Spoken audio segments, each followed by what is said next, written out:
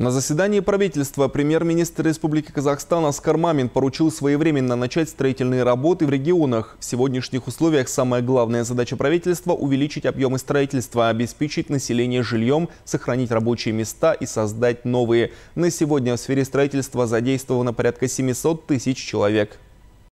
В текущем году запланировано строительство 15 миллионов квадратных метров жилья. Будут реализованы проекты по развитию строительной индустрии. В этой связи сфера строительства должна стать одним из главных секторов развития экономики в целом, сказал Оскар Мамин. Очень важно вовремя начать строительный сезон. Работы по проведению инфраструктуры к строительным объектам начаты только в семи регионах. В этой связи надо отметить Атараускую, Мангистаускую, Жамболскую, Павлодарскую, Туркестанскую, Восточно-Казахстанскую и Северо-Казахстанскую области, резюмировал глава Кабмина.